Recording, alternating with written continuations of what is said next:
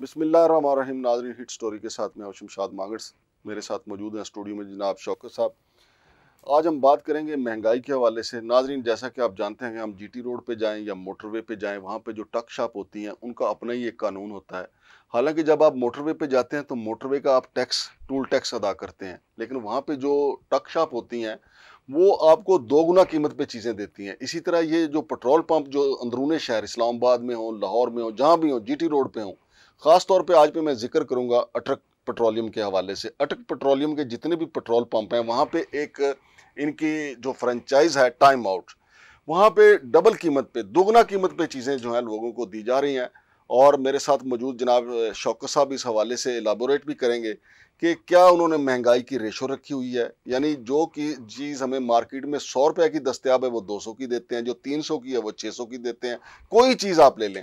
असूली तौर पे तो चाहिए कि जो मकामी इंतज़ामिया, ज़िली इंतज़ामिया इस्लामाबाद, अगर पिंडी का मामला हो तो रावलपिंडी की इंतज़ामिया, और अगर जिस शहर का भी हो तो उसको मौके पे जाके चेक करना चाहिए, छापे मारने चाहिए, और ऐसे जो लोग जिन्होंने ये खुद साख्ता महँगाई बढ़ाई हुई है, उसको कंट्रोल करना चाहिए। शौकत साहब, ये क्या टाइम आउट वालों ने क्या आपने रियासत के अंदर रियासत बनाई हुई है?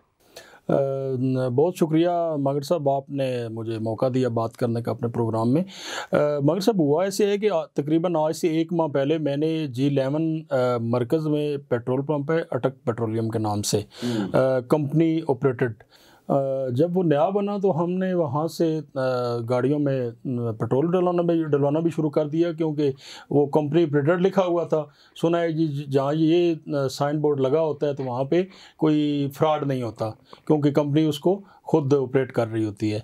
तो मुझे वहाँ से इनकी टक शॉप है टाइम आउट के नाम से। वहाँ पे मैंने गाड़ी को सर्विस करवाई तो मैं वहाँ अंदर चला गया, कुछ चीज़ें लेनी थी बच्चों के साथ। तो वहाँ से मैंने एयर फ्रेशनर लिया इनसे। एयर फ्रेशनर लिया तो उसने मुझे उसकी जो कीमत लगाई वो थी छः सौ बीस रुपया। तो मैंने ले ली, बिल शिल भी मैंने ले लिया। तो मैं वापस आ गया। वही जब मुझे ज़रूरत पड़ गई शाम को एक और लेने की तो हम्म। उनसे बिल्कुल पेट्रोल पंप से कोई सौ गज़ के फासले पे पीछे डिवर्सन कैश एंड कैरी है। इस्लामाबाद का सबसे महँगा भी आप उसको कह सकते हैं म्यारी भी कह सकते हैं हम्म। और वहाँ से चीज़ें। तो वह मैंने वहाँ से वही सेम एयर फ्रेशनर वहाँ से मैंने लिया। यकीन माने कि मुझे वहाँ से उन्होंने तीन सौ बीस रुपये का दिया। तो मैंने उनका भी बिल संभाल लिया। फिर यही सारी चीज़ जो है वहाँ मैं चंद दिनों बाद वापस गया उनके पास। मैंने कहा जी आपने इतना रेट ज़्यादा क्यों लगाया हुआ है? आपके बिल्कुल ये करीब है डिवर्सन। वहाँ से ये देखो इतने का मैंने ख़रीदा है। तो उन्होंने कहा जी नहीं नहीं वो जी इधर का रेट ये है वो पहले तो उन्होंने कोई लिफ्ट ही ना करवाई मुझे ऐसे ही ना वो आगे से धमकियाँ शमकियाँ देनी शुरू कर दी।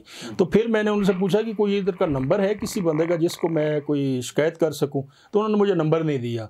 मैंने मेरी नज़र पीछे पड़ी काउंटर पर तो वहाँ पर एक लगा हुआ था एक पेपर लगा हुआ था उस पर नंबर लिखा हुआ था कि अगर किसी को कंप्लेन है तो आप इस नंबर पे अटक वालों का वो थे उमर वकार साहब एरिया इंचार्ज थे इनके शिकायत सेल के। तो हम्म। मैंने उनका नंबर लिया उनको मैंने कॉल की। हम्म। कॉल करने के बाद मुझे उन्होंने कहा जी आप टेंशन ना ले आपने हमारा काम कर दिया जो हमने करना था।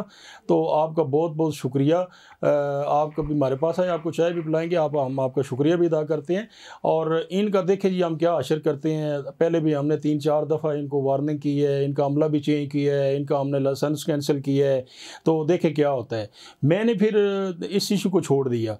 अगले तकरीबन एक माह बाद मुझे फिर कल एज ए चेक करने चेक की समय लेके मैंने देखा कि क्या अमल दरामद हुआ है या नहीं हुआ। मैं इनका दो पेट्रोल पंप हैं एफ़ लेवन मरकज़ में जो बिल्कुल इशारे के साथ है। मैंने उससे वही चीज़ जाके ली। एक मैंने उनसे एयर फ्रेशनर लिया वही वाला। और बाकी भी चीज़ों के रेट पूछे वो भी दुगने दुगने तिगने थे। आम मार्केट से। तो वही एयर फ्रेशनर मैंने लिया तो उन्होंने मुझे छः सौ पचास रुपये का दिया। हम्म। मैंने वो बिल ले लिया मैं बाहर आ गया। मैंने उन्हीं जो ऑफिसर हैं इनके उमर वकार साहब जो एरिया इंचार्ज हैं शिकायत सेल के अटक वालों के उनको मैंने कॉल की। मैंने कहा यार आपने क्या किया था? एक माह पहले भी मैंने आपको इनकी कंप्लेन की, की थी। तो वो मुझे कहते हैं जी आप टेंशन ना लें जी इनका सारा सिस्टम हमने चेंज कर दिया है। अब ये ऐसा नहीं होगा। तो मैंने कहा जी आप मेहरबानी करना आइंदा आपने ना इस तरह की कोई एक्शन नहीं लेना। कहते हैं जी क्यों आप मज़ाक कर रहे हैं? मैं क्या मज़ाक नहीं मैं कर रहा भाई आपके एक्शन लेने से वो साठ सत्तर रुपये उन्होंने और बढ़ा दिया है। हम्म। तो मुझे डर है कि अगली दफ़ा आपने एक और एक्शन ले लिया तो हम्म। ये अगली दफ़ा मुझे आठ सौ हज़ार रुपये का ये देंगे। तो आप मेहरबानी कीजिएगा आइंदा ये आप एक्शन ना लीजिएगा। तो उन्होंने ये नहीं कहा फिर आप फ़ोन भी ना कीजिएगा। नहीं उन्होंने कहा उन्होंने कहा जी अभी मैं इस मालक से ऐसे करता हूँ ये जिसको हमने ठेका दिया हुआ है ये टाइम आउट का पूरा मोटरवे का इनके पास है जीटी रोड का पिंड इस्लामाबाद का ये टाइम आउट है ये एक पूरी चेन है। तो मैं अभी इनसे बात करता हूँ वो आपको कॉल करते हैं। उन साहब की जनाब उनका नाम है मलक अयाज साहब, उनकी शाम को मैं वॉक कर रहा था तो मुझे कॉल आ गई। तो कहते हैं जी आप कौन है? मैंने अपना तारफ़ कराया जी या मैं भी एक काम करता हूँ टीवी चैनल के साथ। तो कहते हैं जी आपको ज़रूरत कैसी हुई कि आप हमारी शॉप पे गए हैं? मैंने कहा यार बात सुने मलिक साहब मैं कोई ये नहीं कि आपको मैंने कोई कोई गलत बात की है। मेरे पास प्रूफ है कि यही चीज़ जो है एक सौ मीटर के बाद डिवर्सन है शहीन है वहाँ से इतने की मेरे या आपने इतना रेट क्यों लगाया हुआ है? हम्म। उन्होंने धमकियाँ शमकियाँ दे के आगे मुझे फ़ोन बंद कर दिया। हम्म। तो ये आपको तो देनी चाहिए थी एफ़ आई आर करवानी चाहिए थी आपको? बस ये अभी आए हैं अवाम के सामने रखते हैं और जो इस्लामाबाद इंतज़ामिया है उसके सामने ये इशू रखते हैं और आपसे भी आ, को कहते हैं कि जनाब आप, आप इस में मदद करें हमारी ताकि जो इस्लामाबाद के शहरी हैं उनको इस सूट से बचाया बहुत शुक्रिया जनाब शौकत साहब। नाजरीन ये पहली ज़िम्मेदारी तो अटक पेट्रोलियम की बनती है कि वो चेक करें कि टाइम आउट जो है महँगाई ने पहले ही आवाम की टाइमिंग आउट की हुई है और आवाम टाइम आउट हो चुकी है।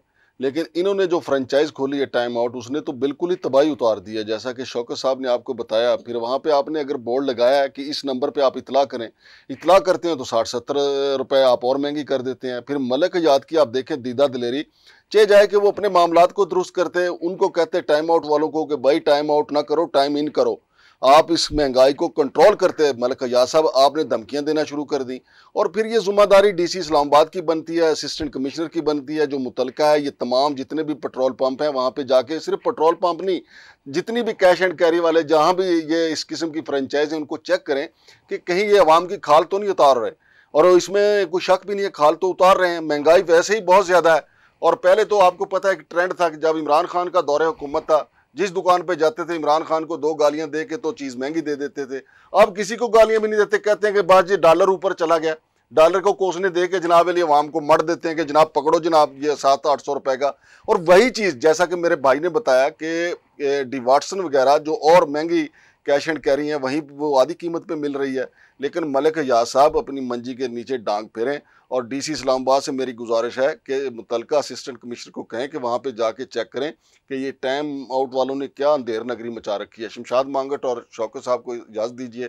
अल्लाह हाफिज़।